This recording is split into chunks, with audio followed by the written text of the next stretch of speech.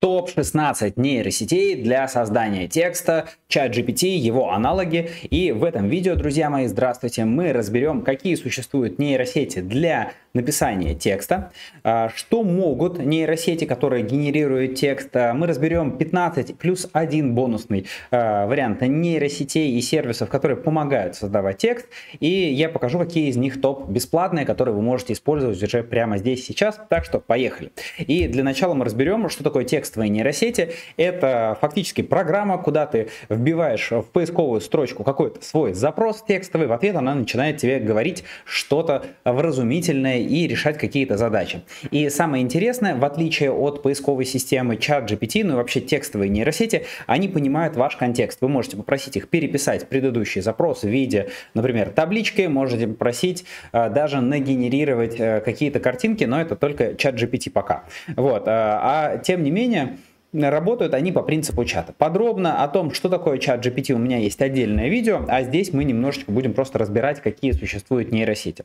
Для многих э, людей они говорят, что ой, нейросети просто хайп, пробовал, ничего не изменилось, и они говорят, что это там 15 минут поигрался, на нас нейросети пока не, не повлияли, или там кошка, может быть, сделала даже лучше. Но это говорят только люди, которые не понимают, чем отличаются нейросети для генерации того же самого текста, а, какие работают, какие не работают, и они просто никогда не пользовались нормальными нейросетями. Это как если а, купить Lamborghini, поставить ее на ручную тормоз, включить первую коробку передач, не переключаться больше, говорит, да, слушайте, ваш Lamborghini ездит не быстрее, чем трамвай, да потому что вы никогда и не ездили на этой Lamborghini. В общем, а, суть-то в том, что на самом деле это штука работает, и сейчас мы разберем инструменты, которые работают. Ну а вот пример того, как это работает. Про этот кейс вообще написали уже больше 15 СМИ. Это кейс нашей студентки Светланы Каменской. Сколько ты потратила времени на книжку?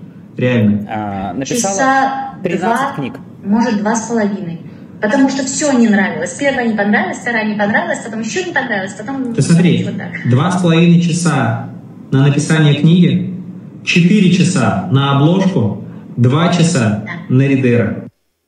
То есть а, Света первую свою книжку написала за 8 часов с нуля от начала до публикации. И в течение месяца она издала уже 13 книг. И этот путь, этот успех повторили уже а, несколько студентов на наших курсах. Собственно, это доказывает еще раз, что есть инструменты, которые позволяют быстрее делать ту работу, которая обычно делается долго. Так вот, для начала разберем, а какие существуют типы нейросетей, которые можно использовать. Первое это оригинальные нейросети. В них я включил чат GPT, Cloud, Gemini от Google, ну, в общем, те, которые имеют свой эм, датасет, то есть э, свои алгоритмы и свой объем данных. Потом есть Telegram-боты-посредники. Наверняка вы уже пользовались, может быть, бесплатными ботами, которые ты отправляешь, они там что-то тебе генерируют и выдают э, э, ну, результат. И есть еще сервисы-агрегаторы, которые используют те же самые алгоритмы, то есть фактически и Telegram-боты-посредники, и сервисы-агрегаторы, они обращаются к оригинальным нейросетям, таким как ChatGPT, Cloud, Gemini, и спрашивают у них, те нейросети отвечают им в ответ, выдают ответ, и вот эти сервисы, они выдают вам как будто бы это мы нейросети, а не они. Но самое главное, что нужно понимать, что если вы научились работать с оригинальными нейросетями, то тогда уже и со всеми остальными вы тоже научились э, работать. Ну и вот еще важное замечание, да, что если мы посмотрим на то, какие результаты выдает, э, например, э, боты нейросети, э, даже если мы попросим, например, сравнить, написать нам таблицу, то мы видим, что чат GPT выдает реально таблицу сделанную, а бот, он не может этого выдать в силу того, что в Телеграме, например, даже нету такого синтаксиса, чтобы написать таблицу. И тем самым получается, что э, все посредники, все агрегаторы чаще всего они теряют часть информации, которые создаются оригинальными нейросетями. Поэтому я сделал табличку, вы можете остановить, заскринить эту табличку, потом изучить. Это ну, э, сравнение GPT нейросетей, какие они между собой есть. И здесь я выделяю две, наверное, самые главные топовые нейросети на текущий момент текстовые, которые, э, я бы сказал, что это номер один топ э, вот на текущий момент. Это Cloud AI и Chat GPT. Про Chat GPT вы стопудово слышали, а про Cloud многие нет. Cloud, кстати, это бесплатная нейросеть. Еще у меня есть э, больше 20 бесплатных аналогов чата GPT. Ссылка по ним есть внизу под этим видео, ну или вот на экране QR-код. Давайте разберем, как вообще эволюционировали эти текстовые нейросети и чем вообще они отличаются. Потому что, да, их кажется уже а, много, ну и на самом деле они достаточно давно развиваются. Начиная с GPT версии 1 до GPT 4 уже прошло больше 5 лет. В чем разница? Да, кто-то уже слышал, чат GPT 5 скоро выходит, да, уже чат GPT 4 и так далее.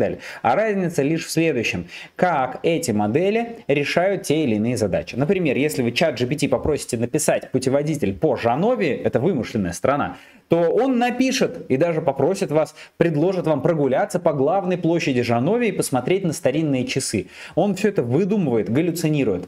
А если вы попросите то же самое чат GPT-4, то он скажет, что нет, сорян, такой стороны нет, я не буду тебе писать путеводитель. То есть у них есть какие-то базовые настройки, плюс еще мы видим, да, зелененький столбик, что чат GPT-4, он лучше в том, чтобы обучать, лучше в понимании технологий, в написании текстов, понимании и помнить историю, факты, в математике, в науках, э, в том, как он рекомендует какие-то сервисы, в программировании и вообще в бизнес-советах. То есть везде чат GPT-4, он лучше, чем все предыдущие модели, собственно, это и круто. И когда проводили исследования, э, как вообще, сколько баллов получает э, чат GPT на экзаменах в различные вузы. Вот мы видим здесь, да, что по разным предметам, по разным вузам, что чат GPT-4, он намного лучше справляется с задачей по тому же самому сдаче экзамена, чем чат GPT-3.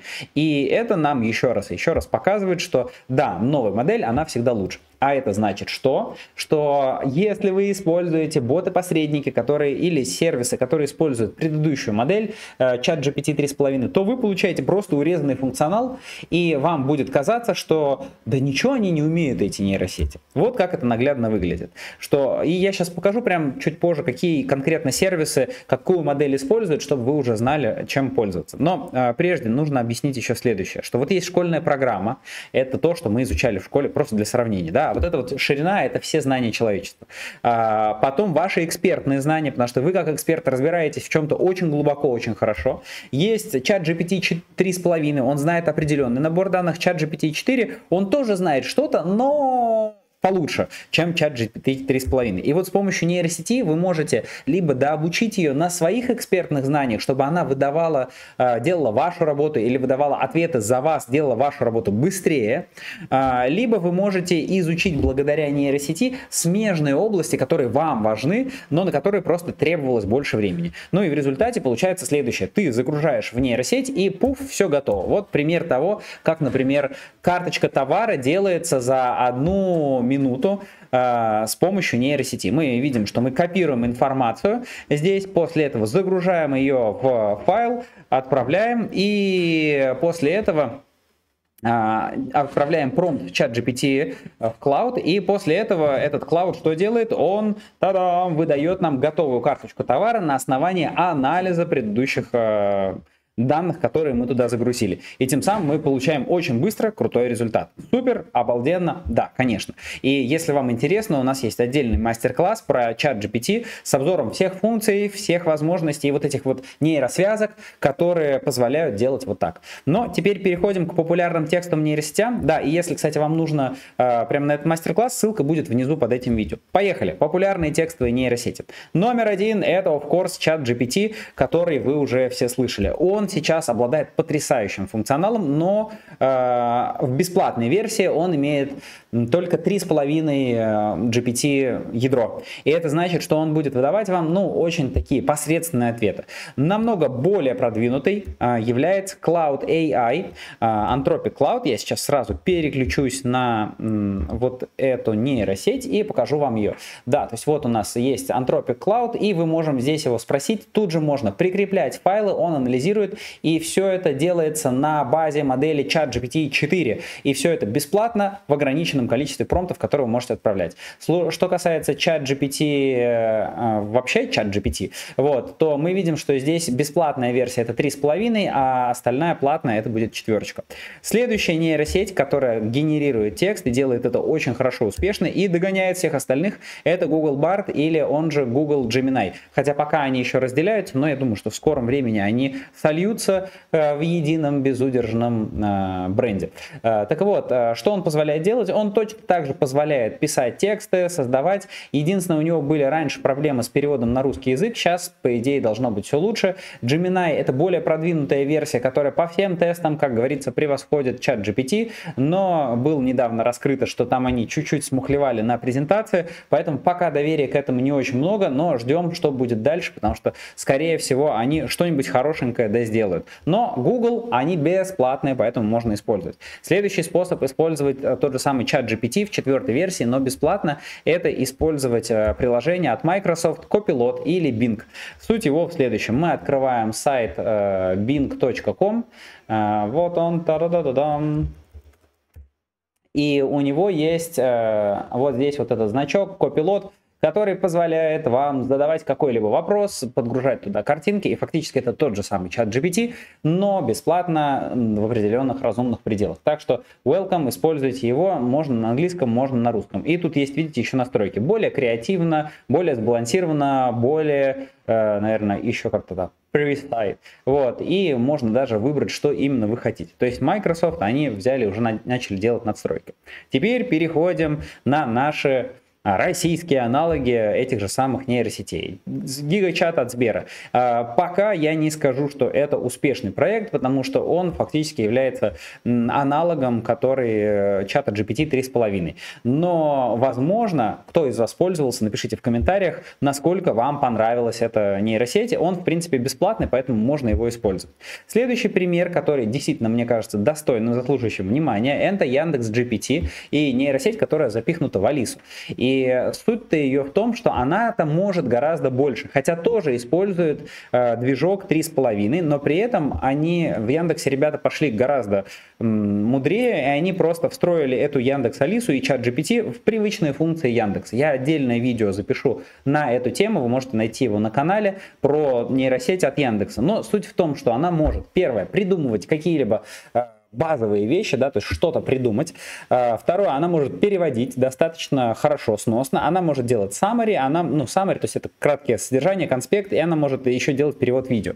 И вот как это можно использовать. Например, а, вы открываете видео и можете нажать краткий пересказ этого видео и двухчасовое видео прочитать, пролистать буквально за пару минут. Это, конечно же, экономит тонны времени. Вот, то же самое если мы используем а, чат GPT или там Яндекс GPT, мы можем скопировать этот краткий пересказ и попросить на основании этого краткого пересказа сделать нам статью для какого-нибудь нашего блога. Тем самым мы получаем, что в целом это достаточно хороший инструмент для того, чтобы применять его в работе. Ну и что еще действительно хорошо у Яндекса, это, например, синхронный перевод видео на русский язык, который позволяет вообще на любом языке смотреть видео и сразу же переводить, и все это делать с помощью нейронок. Это просто, конечно, космос, как это круто. Двигаемся дальше. Следующая нейросеть это Merlin.ai. Что она позволяет делать? В отличие от предыдущих э, сервисов Merlin AI и следующая за ней maxai.me, это плюс-минус одинаковые вообще сервисы по функционалу. Суть-то в следующем. Они в вашем браузере, э, в Google Chrome ставятся как надстройка. И дальше вы, когда работаете со страничкой, они позволяют вам, там появляется, выделяете текст, они позволяют там быстро взять и перевести этот текст. Э, потом э, смотрите на страничку, просите сделать summary, что там на сайте на этом написано, чтобы не читать все это. То есть они такие ассистенты, которые помогают вам быстрее работать в браузере. Они работают только в браузере, они точно так же используют 3,5 и 4 версии чата GPT, то есть они не сами анализируют, а отправляют этот запрос в чат GPT и потом возвращают вам. Но в целом хорошие инструменты, я знаю, что достаточно многие люди их используют. Кстати, напишите, какой вы используете из нейросетей, из нейросетей, которые я вам сейчас рассказываю. Следующий инструмент, вообще мой э, один из, э, скажу, прям достойных внимания, э, Notion AI, они тоже используют API чата GPT, то есть они отправляют в чат GPT запросы и получают ответы.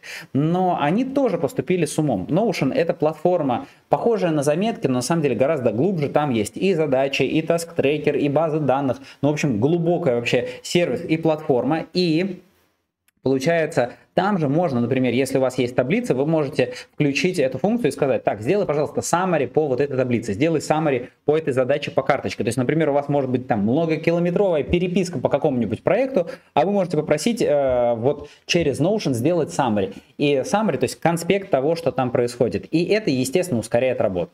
То есть, ребята в Notion поступили с умом, они взяли и внедрили чат GPT в уже э, рабочий инструмент. За счет этого эта штука, конечно, работает. Помогает писать письма, помогает что-то переделывать или быстрее справляться с проектной работой. Следующая нейронка, она только на мобильном телефоне, это суперчат. Э, не то чтобы он прям супер-супер, но суперчат. Что в нем есть возможность? Да? Э, в нем есть возможность поговорить с разными известными людьми, ну, как будто бы у вас... Есть действительно необходимость говорить с разными известными людьми, с Дональдом Трампом или с кем-то там еще. Но из хороших вещей то, что эта нейросеть, она также использует чат GPT, но они используют это в таком виде, да, что ты можешь э, взять и использовать эту нейросеть диалог как диалог с ассистентом. Ты можешь своему ассистенту давать поручения. И получается, это действительно выглядит как общение с виртуальным человеком. Ты вот с виртуальным ассистентом общаешься, просишь одно, другое, третье, записываешь аудиосообщение, он расшифровывает, пишет тебе в ответ текстом. И тем самым, ну, во-первых, создается ощущение действительно качественного общения, раз, а во-вторых, э, это позволяет достаточно быстро какие-то задачи решать, потому что это приложение, в принципе, как и нейросеть, может выходить в интернет, загружать информацию и скидывать вам. И тоже нужно понимать, что пока оно может быть не там супер идеальное, не супер глубоко, потому что оригинальные нейросети, конечно, справляются с этим чуть лучше, чем вот это. Но, тем не менее, сервисы развиваются и посмотрим, что будет дальше.